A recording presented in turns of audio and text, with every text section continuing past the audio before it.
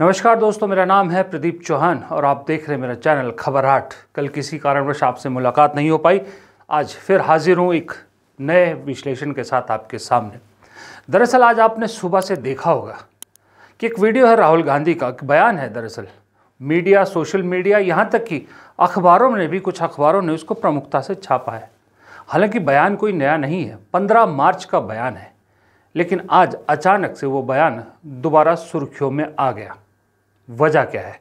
पहले ज़रा वो बयान सुन लीजिए और उसको पवन खेड़ा ने भी फिर दोहराया, ये दोनों सुन लीजिए।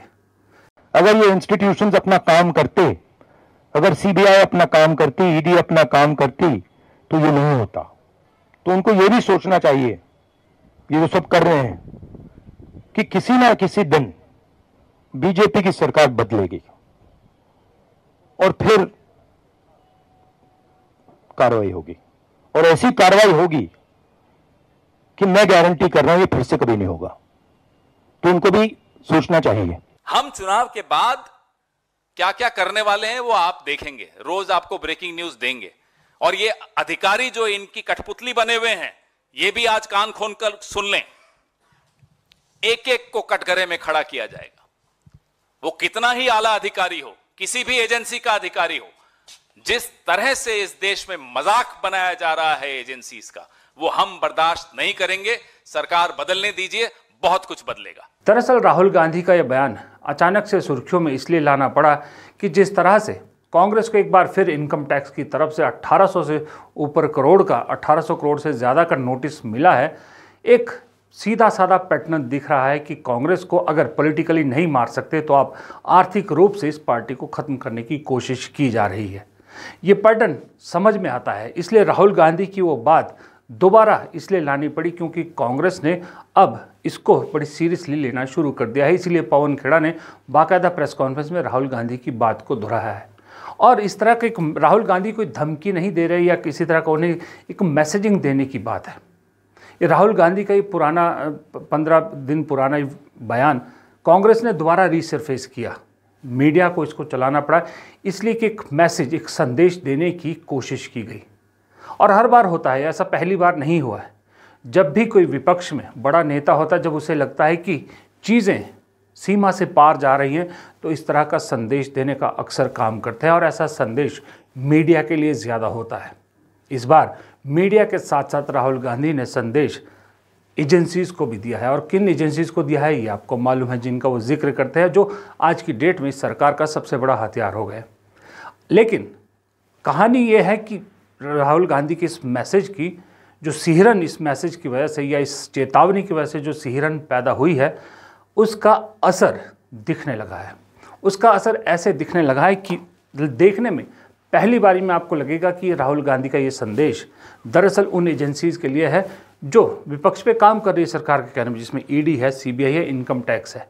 लेकिन इसका दूसरा अगर कंटेक्स देखें तो ये संदेश राहुल गांधी का उन एजेंसीज के अलावा मीडिया के लिए भी था और कहीं ना कहीं अपने सहयोगियों के लिए भी था, एक संदेश देने की कोशिश किया इसलिए इस मैसेज का दोबारा या इस बयान का दोबारा ऊपर आना और उस बयान के फिर अलग अलग मायने निकालने एक सिहरन पैदा कर चुका है और इस सिहरन से थोड़ी सी तकलीफ़ जो एंटी कांग्रेस है, उनके बीच हुई है, जो कांग्रेस को दबाने की कोशिश कर रहे थे, वो चाहे बीजेपी है, चाहे सहयोगी दल है।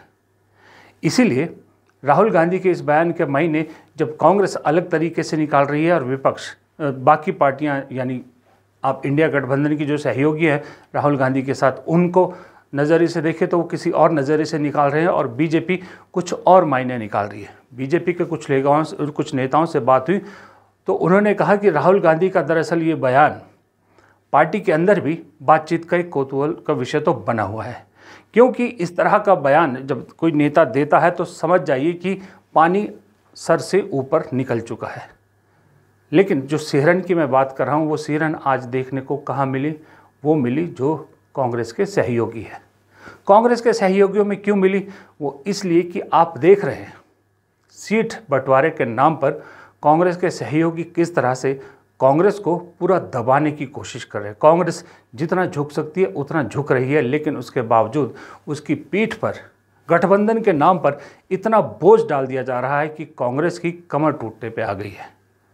अब लोगों ने, कांग्रेस के, खासकर कांग्रेस के लोगों ने मान लिया है कि राहुल गांधी जो कह रहे हैं, अब उसी रास्ते पर चलना होगा। यानी कि हर एक चीज़ की सीमा होती है उस सीमा से आगे ना हम जाएँगे, न किसी और को अपनी सीमा में आने देंगे। जिसके सबसे बड़े उदाहरण हैं बिहार और महाराष्ट्र। बिहार और महाराष्ट्र में सीट बंटवारे को लेकर जो कांग्रेस के साथ धोखा हुआ है, उस धोखे से बाहर आने की अब कांग्रेस कोशिश कर रही है। आपको मालूम है कि बिहार में आरजेडी ने बिना कांग्रेस से पूछे टिकट बंटवारा शुरू कर दिया और उसमें वो दो सीटें भी दे दी जिस पर कांग्रेस सबसे ज़्यादा दावा कर रही थी। पूर्णिया और बेगूसराय। पप्पू यादव, जिन्होंने अपनी पार्टी कांग्रेस में मर्ज करी और पूर्णिया से टिकट मांगी थी, और बेगूसराय से आपको मालूम है कन्हैया कुमार। लेकिन आरजेडी नहीं मानी। अब पप्पू यादव को कांग्रेस ने सिग्नल दे दिया है कि आप मैदान में उतरिए, फ्रेंडली फाइट के नाम पे उतरिए और मैदान फतेह करके दिखाइए। दूसरी तरफ़ महाराष्ट्र में भी यही युवा कि उद्धव ठाकरे ने कांग्रेस से बिना पूछे वो सीटें भी अपने नाम कर दी, जिस पर कांग्रेस दावा कर रही थी, उसमें कुछ मुंबई की थी, कुछ मुंबई के सबर्ब की थी। वहाँ भी हाईकमान की तरफ़ से एक इशारा मिल गया है कि फ्रेंडली फाइट के नाम पे ही सही, लेकिन कांग्रेस पीछे नहीं हटेगी। चार तारीख को आप पूर्णिया की जनता की भावनाओं के अनुकूल कांग्रेस की झंडा पूर्णिया की धरती पर फहराए जाएँगे। कांग्रेस की झंडा ही पूर्णिया में रहेगी। और कांग्रेस की झंडा ही देखिए, सबसे पहले मैं कांग्रेस नेतृत्व का आभारी हूँ कि उन्होंने महाराष्ट्र और मुंबई में कांग्रेस के कार्यकर्ताओं के दर्द को सुना और समझा। चार जो विवादित सीटें हैं, इन सीटों पर फ्रेंडली फाइट होनी चाहिए, मैंने सुना, ऐसा कोई प्रस्ताव। पार्टी के नेतृत्व की तरफ़ से आया है। यह प्रस्ताव बहुत अच्छा है, मैं इसका स्वागत करता हूँ, इसका समर्थन करता हूँ। और आपको याद होगा, सबसे पहले मैंने ही ये बात, ये प्रस्ताव रखा भी था।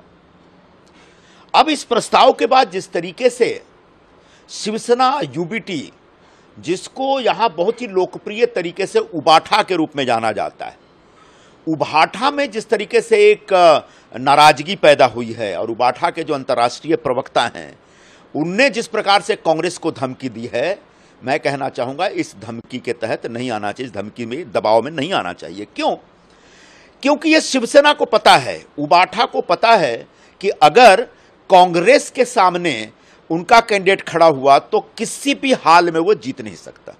शिवसेना अपने दम पर कोई चुनाव महाराष्ट्र के किसी भी लोकसभा में नहीं जीत सकती। एक बार फिर से मैं पूरी ज़िम्मेदारी के साथ, नम्रतापूर्वक और हक के साथ कहना चाह रहा हूँ। तो जो बिलबिलाहट है और जो नाराज़गी है उबाठा में, उसका कारण यह है कि उनको शिवसेना का वोट खिसकने, अरे कांग्रेस का वोट खिसकने का डर लग रहा है। और यहीं से कांग्रेस को कहीं ना कहीं अपनी ताकत पहचाननी पड़ेगी। दरअसल इस राहुल गांधी के मैसेज का तीसरा जो सिरा है, पहला सिरा बीजेपी या एजेंसीज हो गई और मीडिया हो गई, तीसरा सिरा अपने सहयोग दूसरा सिरा अपने सहयोगी हो गए, तीसरा सिरा पार्टी के अंदर है।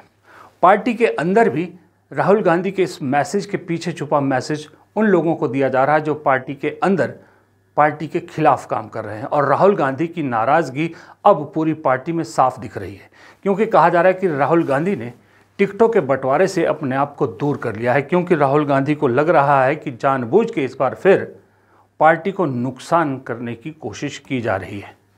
जिस तरह से कुछ नेता अपने आप ही अपने मर्ज़ी पे डिसीज़न ले रहे हैं, गठबंधन के साथ जिस तरह से एक बिहार के जो प्रदेश अध्यक्ष हैं, उनकी कहानी है।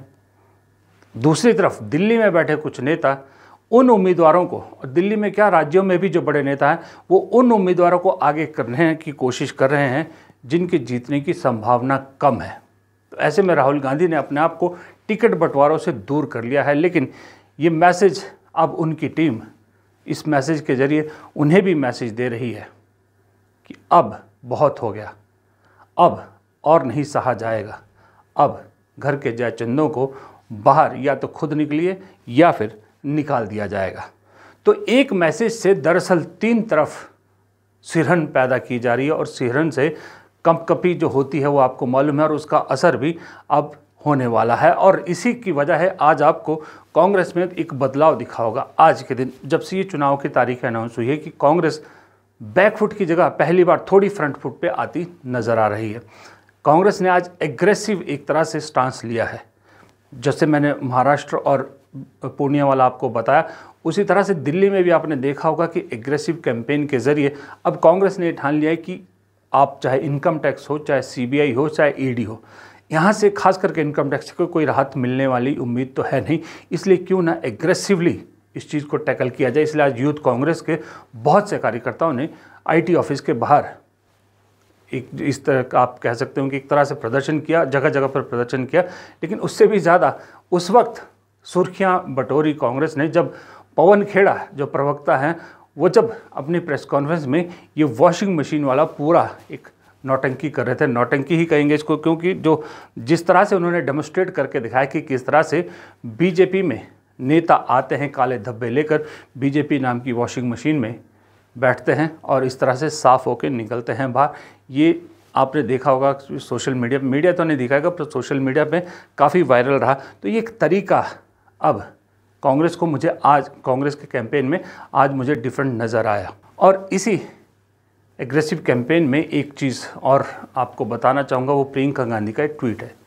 प्रियंका गांधी ने आज जिस तरह से प्रधानमंत्री को सुप्रीम कोर्ट या जुडिशरी को लेके जो एक 600 वकीलों की चिट्ठी थी और उस पर सुप्रीम कोर्ट के उन 600 वकीलों की चिट्ठी पे प्रधानमंत्री का ट्वीट प्रधानमंत्री का उसको इंडोज करना उसको लेकर प्रियंका गांधी ने आज सीधे सीधे प्रधानमंत्री पर सवाल उठाए कि प्रधानमंत्री किस तरह से अब जुडिशरी को अपने कब्जे में करने की कोशिश करें और जब फेल हो रहे हैं, जब सुप्रीम कोर्ट में जो है उनके खिलाफ फैसले आ रहे हैं तो वो इस तरह का हटकंडा अपना रहे हैं। तो प्रियंका गांधी ने बाकायदा एक ट्वीट करके इस पर अपनी राय ज़ाहिर किया। कह सकते हैं कि प्रधानमंत्री पे हमला किया। दूसरी तरफ़ कांग्रेस ने बहुत ज़्यादा एक आज एक और जो है सोशल मीडिया पे वायरल करने की कोशिश की। वो ज़ाहिर सी बात है मैडम स्मृति ईरानी का एक बयान का एक वीडियो है जिसमें स्मृति ईरानी उत्तराखंड में गई थी बेचारी कैंपेन करने के लिए लेकिन जब पत्रकारों ने उनसे अंकिता भंडारी पे सवाल पूछा तो देखिए कैसे भाग खड़ी हुई। अंकिता भंडारी के बारे में क्या कहना चाहिए अंकिता भंडारी के बारे में क्या कहना चाहिए मैडम? मैडम अंकिता भंडारी के बारे में क्या कहेंगे? खैर इस सब के पीछे कुछ वजह तो होनी चाहिए ना। और वजह मुझे लग रही है, वजह लग रही है कि जो ग्राउंड से रिपोर्ट्स आ रही कांग्रेस के लिए, वो बड़ी पॉजिटिव आ रही हैं। आपको मैं कोई सुनी सुनाई बात नहीं बताता। आपके स्क्रीन पर ये चार जगह के विजुअल्स हैं। चार दृश्य हैं, चार वीडियो हैं, ये देख लीजिए। ये चारों के चारों कांग्रेस के उम्मीदवार हैं। जब कोई नामांकन भरने जा रहा है तो कोई रोड शो कर रहा है तो कोई रैली कर रहा है। ये कांग्रेस के हैं। एक पश्चिम बंगाल से हैं, दो राजस्थान के वीडियो हैं, एक तीसरा शायद गुजरात का वीडियो है। अब इस भीड़ को देख के अंदाज़ा लगा लीजिए आपको कि कांग्रेस के लिए किस तरह के संकेत ज़मीन से आ रहे हैं।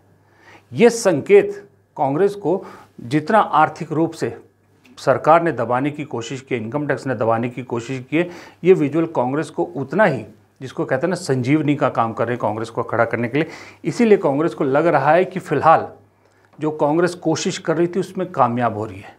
वो कांग्रेस कोशिश ये कर रही थी कि लोगों को कांग्रेस ये समझाने की कोशिश करे कि इस बार की लड़ाई या इस बार का चुनाव कांग्रेस नहीं लड़ पा रही या कांग्रेस नहीं लड़ सकती। इस बार का चुनाव जनता को खुद लड़ना होगा। और ये जो भीड़ दिख रही है, लगता तो ऐसा है कि कम से कम इन जगहों पर तो वो संदेश कांग्रेस का जा रहा है, जहाँ जनता खुद चुनाव लड़ने के लिए या खुद बीजेपी के सामने खड़े होने के लिए घरों से बाहर निकल रही है। दूसरी तरफ़ बीजेपी में परेशानियाँ ही परेशानियाँ बढ़ रही है। अब आप ये दो वीडियो बीजेपी बीजेपी के भी देख लीजिए।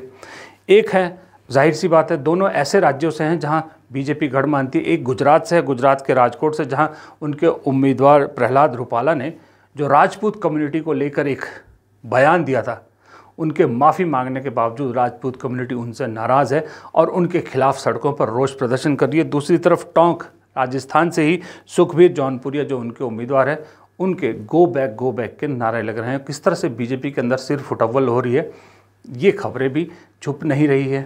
कितने ही नेता बीजेपी को छोड़ छोड़ के कांग्रेस में आ रहे हैं, खास करके कर्नाटक और तेलंगाना में तो ऐसा लग रहा है कि तेलंगाना में पूरी बीआरएस कांग्रेस में आ रही कर्नाटक में जेडीएस और बीजेपी में सिर्फ़ फुटअव्वल है ही है, वो तो दिख रहा है सबके सामने, लेकिन कांग्रेस में जिस तरह से आ रहे हैं लोग, वो भी बीजेपी के लिए चिंता का विषय बना हुआ है। तो ये सारी चीज़ें, गुजरात में कांग्रेस का कम, मज़बूत होना और बीजेपी का कमज़ोर होना, बगावत होना, राजस्थान में कांग्रेस का मज़बूत होना, बीजेपी में बगावत होना, ये सारे संकेत कांग्रेस को मिल रहे हैं। इसीलिए शायद कांग्रेस ने अब तय कर लिया है कि अब जो होगा, देखा जाएगा। अब आईटी अकाउंट फ्रीज इस सबको रोने धोने की कोई फ़ायदा नहीं, इस सबसे कुछ नहीं होने वाला। अब जो कुछ करना है फ्रंट फुट पे सामने आके करना है। बस अब इंतज़ार सिर्फ़ इतना है कि राहुल गांधी या फिर सोनिया गांधी, मल्लिकार्जुन खड़गे, प्रियंका गांधी, सचिन पायलट, ये सब लोग मैदान में किस दिन उतरते हैं? खास करके गांधी परिवार कब मैदान में उतरता है? उसके बाद गेम चेंज होगी और दूसरा इंतज़ार तो वही आपको मालूम है कि अमेठी और रायबरेली से कांग्रेस किसे उतारने वाली है? क्योंकि इन दो सीटों का असर सिर्फ़ यूपी तक नहीं रहेगा, पूरे देश में पड़ेगा। पूरे देश में मैसेज जाएगा जो भी कांग्रेस इन दो सीटों के लिए करती है।